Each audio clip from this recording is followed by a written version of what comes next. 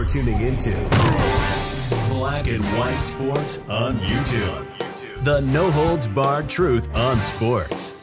The main event starts now. Well, guys, it's almost that time of the year. I'm talking about June. We're like what? Almost a few weeks away um before June actually starts and June is Pride month. So you guys already know what that means. It is time for some sports teams to actually go woke and virtue signal to the alphabets out there. Well, the Los Angeles Dodgers, and of course, you know where they actually play at. They play in the People's Republic of California. They are scheduled to have some uh, festivities, some pride nights, that kind of thing. But guys, I gotta, I gotta tell you this. People that think like me, people on my side of the political aisle, you must make your voice heard. Because just maybe, just maybe, you'll actually get through and then changes could actually be made.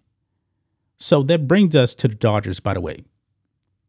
During their Pride Night festivities, man, they were going to have this group that openly mocks Christians.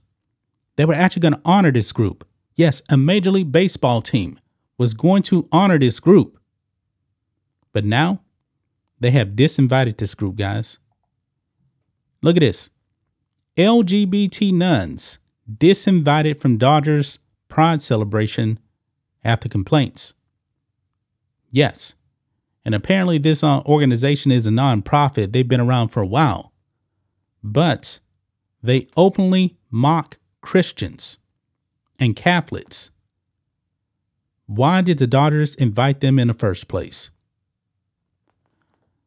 Let's read this, guys. The Dodgers disinvited an order of queer and trans nuns. You see what I'm getting at, guys? Nuns. From their Pride Night celebration after several Catholic organizations and Senator Marco Rubio pointed out the organization's irreverent nature. A statement released by Major League Baseball said, This year, as part of a full night of programming, we invited a number of groups to join us. We are now aware that our inclusion of one group in particular, the Sisters of Perpetual Indulgence. Yes, that's their name, Indulgence. You probably already can guess what that indulgence is. In this year's Pride Night has been the source of some controversy, given the strong feelings of people who have been offended by the sisters' inclusion in our evening and in an effort not to distract from the great benefits that we have seen over the years of Pride Night, we are deciding to remove them from this year's group of honorees. They were actually going to honor this group. That's disturbing right there. They were actually going to honor this group. So if people did not actually make their voices heard, this group would have been honored at a baseball game. Major League Baseball, the Dodgers.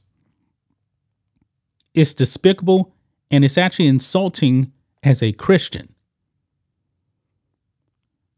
Look at this, guys.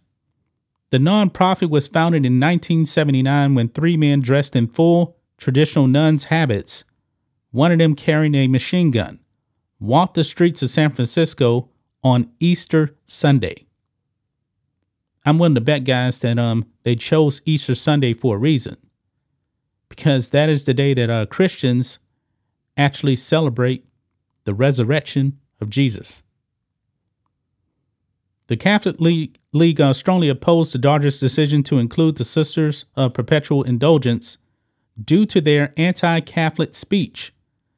League President Bill Donohue noted the group is known for, quote, simulating, oh my God, you just saw that right there.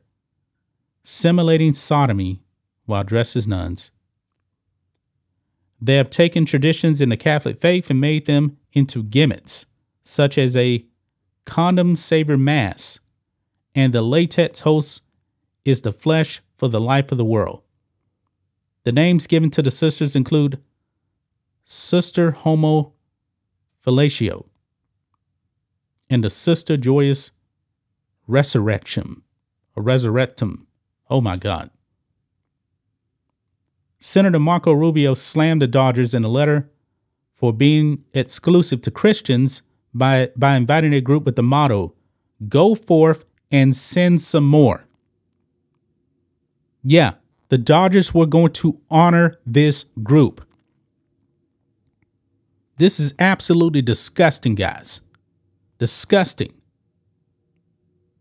I'm glad that Marco Rubio actually spoke out on this. This is what he said. This is he actually wrote this letter to um Rob Manfred. He said, "Do you believe that the Los Angeles Dodgers are being inclusive and welcoming to everyone by giving an award to a group of gay and transgender drag performers that intentionally mocks and degrades Christians, and not only Christians but nuns who devote their lives to serving others?" MLB did the right thing.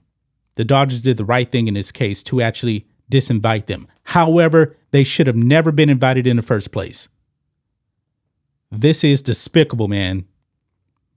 This is despicable right here. And the only reasons why they were disinvited is because the heat was put on them. The heat was put on them, and then they got disinvited. This this is really, really, man, crazy. This is crazy that this I mean, my God. They mock Christians. They take Christian slogans and words from the Bible, turn them around to mock Christianity. But the Dodgers thought, hey, why don't we just go out there and honor these people? Why don't we go ahead and do it? You know, we don't like Christians. I don't know what's happening to this country, guys. I don't know what's happening to this country where Christians can be openly mocked. Now, let me ask you this. If there was an organization out there that was out there mocking uh, Muslims, Islam, would the Dodgers have actually honored them? Absolutely not. But you know, it's perfectly okay in 2023 to attack Christians. Your government is already doing it. I'm talking about all the way up at the White House. They're doing this stuff. I'm I'm just stunned by this, guys. I'm stunned. You just saw what I read. You read what I you heard what I just read. They were saying this stuff. They're mocking Christians. And MLB thought that this was okay. This is why we need to have our voices heard. This is why you must do what Marco Rubio did. Just to put a stop to this madness. That's just my thoughts on this. What do you guys think of this? Black and white sports fans, let us know what you think about all this in the comments.